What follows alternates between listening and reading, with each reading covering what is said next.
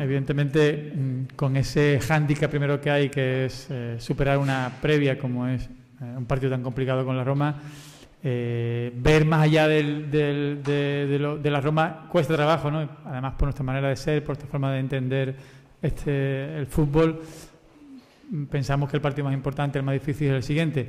Pero evidentemente, como ya hay un sorteo mm, realizado, bueno, un camino complicado, ¿no? La, UEFA se ha convertido, la Europa League se ha convertido en una competición difícil con equipos tan importantes como la propia Roma, Manchester United, Inter de Milán, Leverkusen, Wolves, Estambul, es decir, difícil, ¿no? Difícil eh, eh, llegar a donde queremos llegar al final.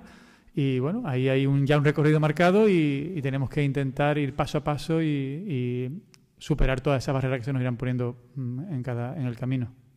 Bueno, yo creo que, no, no, te puedo dar un dato exacto de que nos pueda favorecer o perjudicar. Es un formato distinto, evidentemente, eh, que nos va a exigir mucho a los equipos, porque en prácticamente en 15 días vamos a jugar cuatro partidos mm, a vida o muerte, ¿no? donde no hay margen de error, con lo cual la capacidad de concentración, la capacidad de recuperación y de motivación va a ser fundamental. ¿no? un equipo que conozco bien, aunque es verdad que, han hecho cambios en, este mercado de verano y también en el mercado de invierno, es un equipo que nos va a exigir mucho. Un equipo competitivo, un muy buen equipo, una muy buena plantilla, una magnífica sociedad, un equipo con una historial importante y que mm, va a ser un escollo muy, muy, muy complicado.